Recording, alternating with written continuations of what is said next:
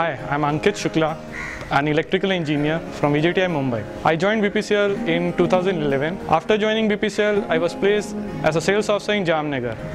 From last two years, I am looking after Rajkot sales area. BPCL has given me opportunity to learn.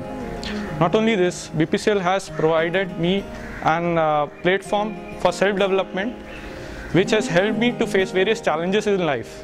BPCL has uh, indirectly provided me an overall platform to work, to live life and enjoy. I am proud to be a part of BPCL.